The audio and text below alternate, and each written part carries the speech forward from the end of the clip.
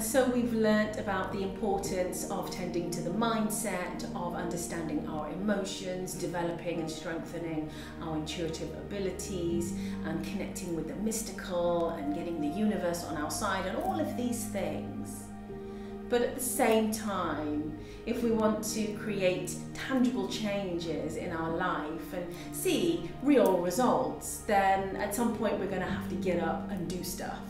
And so during the upgrade journey that I teach, we look at practical ways that you can do that, but always maintaining that personal alignment.